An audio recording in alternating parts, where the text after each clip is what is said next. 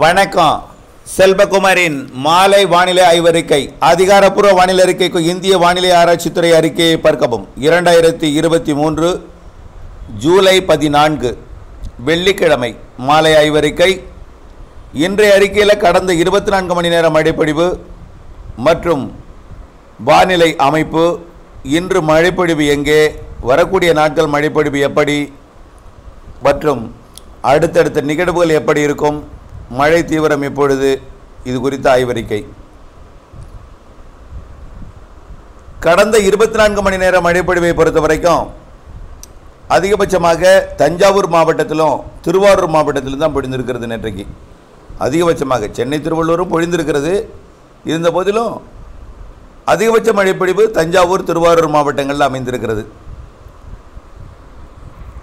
அதன்படி தஞ்சாவூர் மாவட்டம் குறுங்குளம் நான்கு சென்டிமீட்டர் திருவாரூர் மாவட்டம் நீடாமங்கலம் தஞ்சாவூர் மாவட்டம் தஞ்சாவூர் பிடிஓ மற்றும் வேலூர் மாவட்டம் தலைநகர் வேலூர் மற்றும் தஞ்சாவூர் மாவட்டம் தஞ்சாவூர் தலைநகர் பகுதி தஞ்சாவூர் மாவட்டம் வல்லம் திருவள்ளூர் மாவட்டம் ஊத்துக்கோட்டை இவையெல்லாம் மூன்று சென்டிமீட்டர். இன்னும் மூன்று சென்டிமீட்டர் நிறைய இடங்கள் இருக்கிறது. ஒரு சென்டிமீட்டர்லேயும் நிறைய இடங்கள் ரெண்டு சென்டிமீட்டர்லேயும் நிறைய இடங்கள் இருக்கிறது. அதிகபட்ச மழைப்பொழிவு தஞ்சாவூர் திருவாரூர் மாவட்டத்தில் நீடாமங்கலம் மற்றும் தஞ்சாவூர் சுற்று வட்டாரத்தில் பதிவாகியிருக்கிறது இன்றைக்கு மழைப்பொழிவை பொறுத்த வரைக்கும் மதுரை மாவட்டம் வடக்கு பகுதி மேலூர் ஆ, வரிச்சியூர் அப்படியே அந்த பழமுதிர்ச்சோலை கொட்டாம்பட்டி இது சுற்று வட்டாரம் மட்டும் மதுரையோட வடக்கு மற்றும் வடகிழக்கு பகுதியில் மதுரை மாநகருக்கு வடக்கே வடகிழக்கு பகுதியில் மழைப்பொழிவு. மேலும் தமிழ்நாட்டில் பெரிய அளவில் இன்றைக்கு மழை வாய்ப்பில்லை. ஆனால் இரவில் ஒரு பத்து பதினோரு மணி அளவில் சென்னை திருவள்ளூர் செங்கல்பட்டு காஞ்சிபுரம் மாவட்டத்தில் மழை தெரியுது உறுதியாக செங்கல்பட்டு மாவட்டம் கடலோரம் அதாவது சதுரங்கப்பட்டினம் செய்யூர் மாமல்லபுரம் கல்பாக்கம் செங்கல்பட்டு அதேபோல் திருக்கழுக்குன்றம் போன்ற பகுதிகளிலையும் மழை வாய்ப்பு நள்ளிரவில் தெரிகிறது. இரவு பத்து மணிக்கு மேல். தென் சென்னை தாம்பரம் இந்த பகுதிகளுக்கும் கொஞ்சம் கூடுதல் பரப்பில் மழை தெரிகிறது. இன்றைக்கு திருவள்ளூர் சென்னை சென்னையை விட காஞ்சிபுரம் செங்கல்பட்டு மாவட்டத்துக்கு கூடுதல் வாய்ப்பு தெரிகிறது.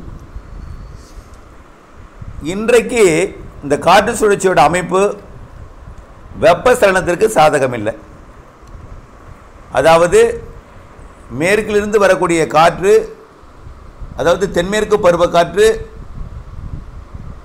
தெற்கு நோக்கி திரும்பி இருக்கிறது. அதாவது தென் மாவட்ட கடலோர பகுதிகளில் அதாவது மன்னார் வளைகுடாவில் மேலடுக்கிலே ஒரு மெலிந்த சுழற்சி நீடித்து கொண்டிருக்கிறது.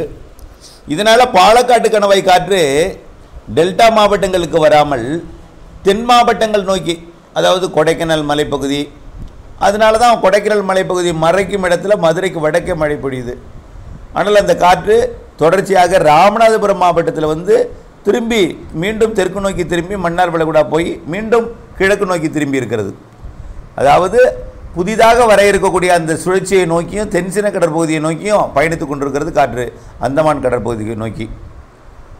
தென் மாவட்டங்களில் ஆரியங்காவு கணவாயும் ஆரல்பாய் மொழி கணவாய் காற்றும் மன்னார் வளைகுடா இறங்கி இலங்கையில் கிழக்கு நோக்கி பயணிக்கிறது.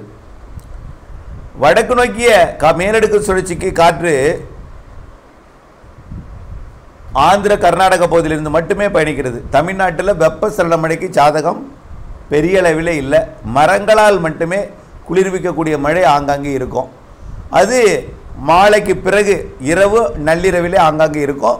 கொஞ்சம் கூடுதலாக வங் வடக்கு வங்கக்கடல் பகுதியில் அது சரி மன்னிக்கவும் தமிழ்நாட்டின் வடகடலோர பகுதிகளில் இருக்கும். கொடைக்கானல் மலைப்பகுதிகள் இருக்கும். மதுரை மாவட்டம் வடக்கு பகுதி மற்றும் திருச்சி மதுரை மாவட்ட சந்திக்கும் இடைப்பட்ட பகுதி புதுக்கோட்டை மாவட்ட சிவகங்கை மாவட்ட சந்திக்கும் இட பகுதிகள் இங்கே இருக்கும். வரக்கூடிய மணி நேரங்களில். பெரிய அளவில் இன்றைக்கு மழை எதிர்பார்க்க முடியாது. நாளை கொஞ்சம் கூடுதல் பரப்பட மழை இருக்கும். தென் மாவட்டங்களில் இருக்கும் நாளைக்கு. நாளைக்கு தென் மாவட்டங்களில் ஒரு சில இடங்களில் இருக்கும். தயவுசெய்து சொல்கிறேன் நிறைய எதிர்பார்த்துறாங்க தென் மாவட்டங்களில் இருக்கும் அப்படின்னு சொன்னோடனே ஆஹா நமக்கு மழை வந்துடும் தென் மாவட்டத்தில் உள்ள அனைத்து மக்களும் எதிர்பார்க்கக்கூடாது எங்காவது ஒரு இடத்துல இருக்கும் அப்படிதான் டெல்டா மாவட்டங்களில் நேற்றைக்கு ஒரு சில இடங்களில் இருக்கும். அது குறிப்பாக டெல்டா மாவட்டத்தில் வேதாரட்டத்துக்கு இருக்காது வடக்கு டெல்டாவில் இருக்கணும் அதே போல் தஞ்சாவூர் நீடாமங்கலம் பகுதியில் அமைந்தது. இப்படித்தான் எங்கே அது அமையும். தென் மாவட்டங்களில் எங்கே நாளைக்கு அமையும்னா விருதுநகர் மாவட்டம் அருப்புக்கோட்டை திருச்சி பகுதியில் அமையலாம். ராமநாதபுரம் மாவட்டம் உள்பகுதியில் அமையலாம். மதுரை மாவட்டத்தோட தெற்கு பகுதி அல்லது தெ- சிவகங்கை மாவட்டத்தை ஒட்டிய பகுதிக்கு அமையலாம். இந்த பகுதிகளில் அமையலாம். அதே போல் டெல்டா மாவட்டங்களில் நாளைக்கு ஆங்காங்கே ஆங்காங்கே மழை இருக்கும். அதிகாலை நேரத்தில் ஞாயிற்றுக்கிழமை அதாவது நாளை சனிக்கிழமை இரவு மழை நாளை மறுதினம் ஞாயிற்றுக்கிழமை அதிகாலையில் வேதாரண்யம் பகுதிக்கு வாய்ப்பு தெரியுது. நாளைய மறுதினம் அதிகாலை ஞாயிற்றுக்கிழமை அதிகாலையில் வேதாரண்யம் பகுதி முத்துப்பேட்டை பகுதி திருத்துறைப்பூண்டி தலைஞாயிறு பகுதிக்கு வாய்ப்பு தெரியுது.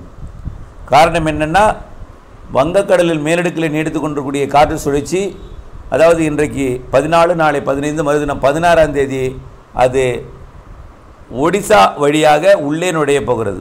இதனால் காற்று வந்து குறுக்கு வழி எடுத்துக்கொண்டு டெல்டாவில் சுற்றி கொண்டு போகாமல் அப்போ குளிர்விக்கும் அமைப்பை ஏற்படுத்தி டெல்டாவின் வங்கக்கடலோரம் அதாவது வேதாரண்யம் தலைஞாயிறு பகுதியில் ஞாயிற்றுக்கிழமை அதிகாலையில் மழை வாய்ப்பு தெரியுது. ஓரிரு நாட்களுக்கு ஒரு பதினாறாம் தேதி வரைக்கும் தமிழ்நாட்டில் மழைப்பிடிப்பு பெரிய அளவிலே பரவலாக கனமழையெல்லாம் வாய்ப்பு தெரியல. பதினேழுக்கு அப்புறம் வேதனை பகுதிக்கு தெரியல. ஏன்னா புதிய காற்று சுழற்சி உருவாகி தாடு நிலையாகி தேய்ச்சி புயலாக போகிறது. அப்படி ஆனாலே டெல்டாவோட தெற்கு பகுதியிலிருந்தும் ராமேஸ்வரம் பகுதியிலிருந்தும் கன்னியாகுமரி முனையை தொட்டுக்கொண்டு காற்று தெற்கு காற்று வடக்கு நோக்கி பயணிக்கும். அதனால் இப்போ இடையூறு ஆகும். தென்மேற்கு பருவமழை சற்று தீவிரமடையும். ரொம்ப இல்லை ரொம்ப எதிர்பார்த்துடாதீங்க காரணம் என்னென்னா அதுக்கு வரக்கூடிய காற்று பார்த்தீங்கன்னா திசை மாறும் பொழுது ஒரு உயரழுத்தத்தை ஏற்படுத்தி குறைந்த நீராவி கொண்ட காற்றாக கேரளாவில் நுழையும் நுழையிற காற்றும் ஆனால் மழை இருக்கும். ரொம்ப இருக்காது. சாரல் மழை. எப்போ? பதினெட்டு பத்தொன்பது இருபது இருபத்தொன்று இருபத்தி ரெண்டு அப்படியே மாத கடைசி வரைக்கும் இருந்துகிட்டே இருக்கும். இருந்துகிட்டே இருக்கும். நாளை கூட வரலாங்க. நாளை மறுநாள் கூட வரலாம். ரொம்ப பெரிய மழையில் எதிர்பார்க்க முடியாது. பதினெட்டாம் தேதி பத்தொம்பது இருபது இருபத்தொன்னில் இருக்கும். கேரளா கர்நாடகாவில். ரொம்ப பெருசாக இருக்காது. காரணம் என்னென்னா இன்னொரு ஒரு படம் என்ன நினச்சிருப்போம் பார்த்தீங்கன்னா தெரியும். வடக்கிருந்து பாகிஸ்தான் பகுதியில் மழையே பெய்யலை. தெரியுமா பார்த்தீங்களா எத்தனை நிகழ்வு போனாலும் பாகிஸ்தான்லேயும் ஆப்கானிஸ்தான்லேயும் மழையே இல்லை. காரணம் என்னென்னா இங்கேருந்து போகக்கூடிய நிகழ்வுக்கு அந்த நிகழ்வுக்கு வரக்கூடிய காற்று குளிர்காற்றாக மாறிவிடுகிறது. மழையை உருவாக்கும் அமைப்பை ஏற்படுத்தவில்லை. வெப்பக்காற்று கிடைக்கணும். வெப்பக்காற்று குளிர்காற்று கிடைக்கணும். அதாவது கடல்லேருந்து வரக்கூடிய நீராவி கிடைக்கணும். அது குளிர்விக்கும் காற்றாக இருக்கணும். அது மாதிரி இல்லை. ஒட்டு மொத்தம் வெப்பக்காற்றாக இருக்குது குளிர்காற்றாகவே இருக்குது பாகிஸ்தானில். வர அந்த நிகழ்வுக்கு சுழல வரும் காற்று. காரணம் என்னென்னா வெப்பக்காற்று அடுத்தடுத்த நிகழ்வு வங்கக்கடலில் உருவாகிறதுனால அதை நோக்கி திரும்பி இருக்கிறது. அதனால் பாகிஸ்தானில் நுழையிறது அரபிக்கடல் காற்று இல்லை. எல்லாமே வடக்கில் இருந்து ஆப்கானிஸ்தான் வடக்கு பகுதி பாகிஸ்தானோட வடக்கு பகுதி இமயமலைக்கு வடக்கே இருக்கக்கூடிய பகுதியிலிருந்து காற்று நுழைந்து மழைப்பொழிவை தடுக்கும் வகை- வகையாக மழைப்பொழிவிற்கு சாதகம் இல்லாத அமைப்பாக இருக்குது அந்த காற்றுங்க அரபிக்கடலில் இறங்க போகுதுங்க இந்த நிகழ்வுக்கு வர்றதுக்கு. அதனால என்ன ஆகும்னா வரும்பொழுது குளிர்காற்று பாகிஸ்தானில் ஆப்கானிஸ்தானில் அது அரபிக்கடலில் இறங்கும் பொழுது குளிர் குறையும். அவ்வளோதான் அரபிக்கடல் சூட்டால கொஞ்சம் குளிர் குறையும். இன்னும் கொஞ்சம் பயணிக்கும் போது கொஞ்சம் வெப்பமடையும். அடல் அதில் நீராவி இருக்காது. புரியுதுங்களா? நீராவி இருக்காது. அந்த வெப்பமடைந்த காற்று கொஞ்சம் நீராவி எடுத்துக்கொண்டு வந்து தரைப்பகுதியில் ஏறும் பொழுது குறைவான மழைப்பொழிவு குஜராத் மகாராஷ்டிரா அதே போல் கோவா இப்பகுதியில் இருக்கும். வங்கக்கடலில் நிகழ்வு இருந்தும் கூட அரபிக்கடல் நிகழ்வு அரபிக்கடலில் காற்று ஒட்டுமொத்த அரபிக்கடல் வர்றதுக்கு பெரிய அளவிலே சாதகம் தரப்போகிறதில்ல ஆனால் எங்கே மழை அதிகம் பெய்யும்னு பார்த்தீங்கன்னா ஒடிசா மேற்கு வங்கம் வடகிழக்கு மாநிலங்கள் இப்போ இந்த பகுதியில் தான் அதிக மழை பொழிவு தரும். ஆக தயவுசெய்து இதை கேட்டோன்னே உடனடியாக மனசு வந்துடாதீங்க நம்ம சொல்லியிருக்கிறது எல்லாமே மாத இறுதி தான் மாத இறுதிக்கு இன்னொரு நிகழ்வு இணைச்சிருக்கோம் பாருங்கள் அதில். ஒரு க கற்பனை வரைபடம். அந்த மாதிரி அமையும். ஆகவே மாத இறுதியிலிருந்து மழை பொழிவு கூடும். மாத இறுதியிலேயே கொட்டி நாலு நாள்லேயே மாதம் முப்பத்தொன்னாம் தேதியே அணைகளை நிரப்பிடாது. அதுவும் சொல்லிடுறேன். மாத இறுதியிலிருந்து முழுமையாக சாதகத்திற்கு திரும்பும். சாதகத்துக்கு திரும்பி ஆகஸ்ட் முதல் வாரத்திலிருந்து மேலும் சாதகமாகும் காற்று. ஆகஸ்ட் ரெண்டாவது மூன்றாவது நான்காவது வாரம்லாம் முழுமையாக சாதகமாகி நல்ல மழைப்பொழிவை தரும். ஆக நான் எப்படி இந்த வரக்கூடிய இந்த மாத இறுதி நாட்கள் வரைக்கும் அதாவது இன்றைக்கு தேதி பதினாலு ஒரு அடுத்த மாதம் அதாவது இந்த மாதம் இருபத்தஞ்சாம் தேதி வரைக்கும் ஆகுது இருபத்தாறாம் தேதி வரைக்கும் ஆகுது இன்னொரு பத்து நாள் எப்படி உங்களை மனதை தைரியப்படுத்தி உங்கள் மனதிற்கு தென்மேற்கு பருவமழை பெய்யும் என்ற ஒரு நம்பிக்கையை ஊட்டிக்கொண்டே எப்படி இந்த ஒரு பத்து நாளை கடந்து விட்டால் அதற்கு பிறகு மாத இறுதியில் கிடைக்கக்கூடிய மழை உங்களுக்கு நம்பிக்கை பிறந்துவிடும். அதுவரை உங்களுக்கு நம்பிக்கை ஊட்டுவது தான் எனக்கு சிரமமாக இருக்கிறது. ஏனென்றால் நிறைய குழப்பவாதிகள் நிறைய பேர் இருக்காங்க. சொன்னால் பெய்யும் சொன்னால் பெய்யுமா? பெஞ்சிருங்கிறீங்க? பெய்யுமா? சார் டேமில் நிறைஞ்சு இறஞ்சிக்கிட்டே இருக்குது சார் தண்ணி. அமராவதியில் தண்ணி இறங்கிட்டே இருக்குது சார். காற்று வேற ஓவர் அடிக்குது சார் இன்னைக்கு. பெஞ்சிருங்கிறீங்களா? இப்படியே பெய்யும் பெய்யும் பெய்யும். பெய்யுமா பெய்யுமா பெய்யுமா? பெய்ந்து விடுமா பெய்து விடுமா? இப்படி நம்பிக்கை இல்லாமலே இருக்கிறார்கள். அவர்களுக்காக ஒன்றே ஒன்று சொல்கிறேன். தயவு செய்து இன்னொரு பத்து நாள் பொறுமை காத்துக்கொள்ளுங்கள் ஆனால் பதினேழாம் தேதி வரக்கூடியது கொஞ்சம் மழைப்பொழிவை கொடுக்கும். பதினேழுனா பதினேழு கிடையாது. பதினெட்டு பத்தொம்பது இருபது இருபத்தொன்று இருபத்தி ரெண்டாம் தேதி. அதை விட அடுத்த நிகழ்வு இன்னும் கொஞ்சம் கூடுதலாக இருக்கும். இருபத்தஞ்சாம் தேதி இன்னொன்று வருது. அதை விட மாத இறுதியில் தான் சிறப்பாக இருக்கும். சிறப்புனா அதுவும் உடனே அணைய நிரப்படாதுங்க.